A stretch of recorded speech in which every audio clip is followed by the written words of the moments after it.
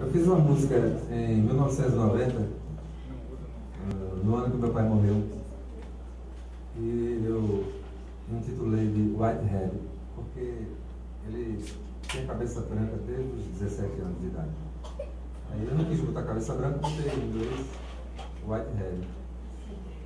Queria fazer essa homenagem a ele. E aí eu quero convidar aqui o meu amigo, compositor, arranjador, maestro, gente finíssima, que eu amo muito, Spock.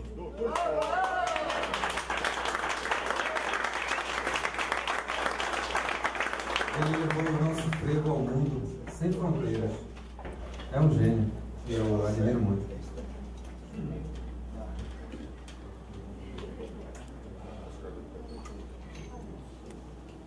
Ah, André Rio falou alguma coisa,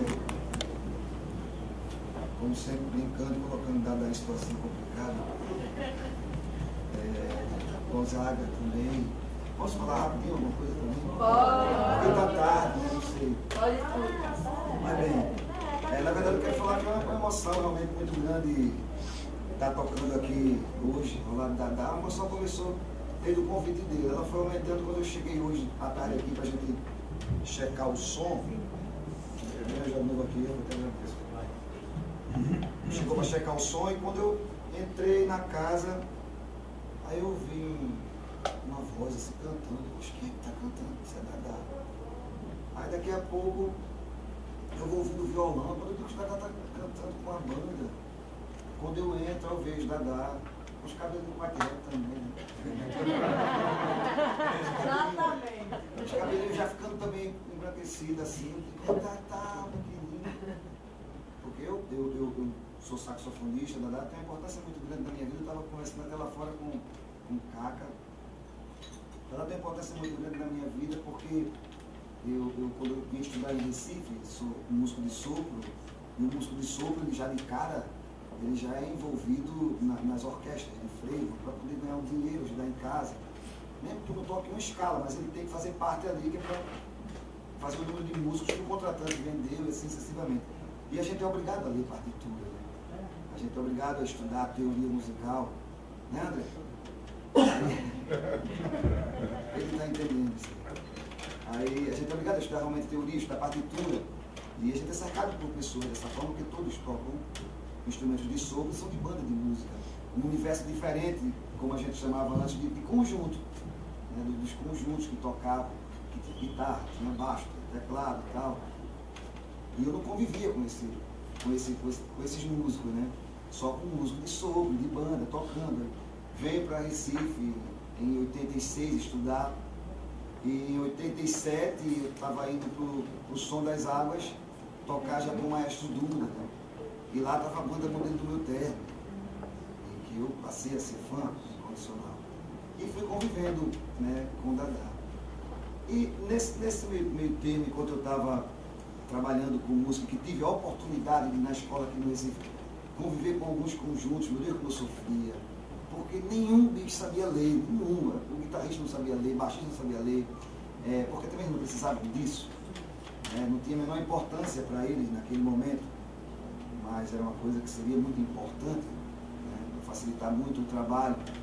Mas nenhum que eu conhecia sabia ler. Que interessante, os músicos de, de- de harmonia, guitarristas, baixistas, bateristas também, de percussão, sabiam ler e era uma dificuldade os ensaios para mim.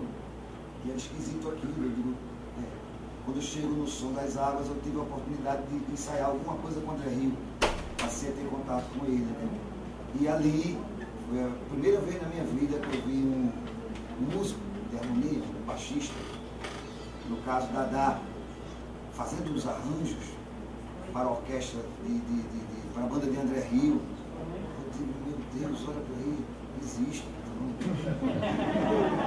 existe um músico de harmonia que, que, que estuda né, a, a teoria, não que isso seja mais importante, mas também é para certos tipos de trabalho.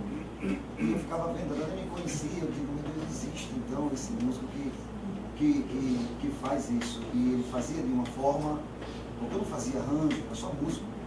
Tocava com Duda, então não sabia o que era arranjo, não fazia nada. E ali ele talvez não saiba disso, mas é uma grande verdade, né, porque eu estou aqui. Mas foi nos ensaios da banda Modelo do Meu Terno, nos estudos, estudos de Rogerinho, né? É, ali que eu observava, Dadá escrevia a partitura do violão, a partitura do sax, a partitura da guitarra, a partitura do baixo, e tudo de uma forma super organizada. André Rio, pela maloqueiragem que sempre teve, Dadá sofria muito com esses arranjos, porque Dadá sofria muito, como sofre até hoje, porque enquanto eu estava ali observando musicalmente a importância e a seriedade de um músico, de um arranjador, de um profissional, André Rio estava totalmente outra. Ele, ele, ele queria, ele falava, tá, não precisa disso não, vamos aqui pegar. Eu digo, não, ele está tudo errado, esse menino tá. Tá, tá, tá. É, aí, graças eu observei Dadá. Na boa, porque ele tá, mas eu não observei, André. Não foi pro lado negro, né? É, não observei e hoje, graças a Deus, eu consigo fazer alguns arranjos com muita seriedade, com muita disciplina. E era isso que eu via na banda Modelo do Meu Terno. Né? O trabalho de Dadai aqui é muita emoção para mim estar perto dele e você teve essa importância na minha vida e eu agradeço.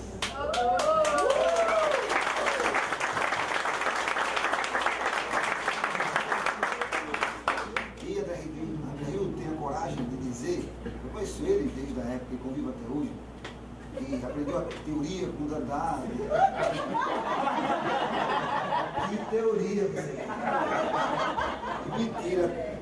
Talento puro, André Rio. Sou fã incondicional, mas teoria. Puxou o doutor Alírio. Puxou o doutor Alírio, o pai dele. tá na Pampulha. Queria ele ser o pai dele. Lado ruim. Mas é sério. E é um prazer também, imagina tocar logo essa música. Desculpa ter falado tanto.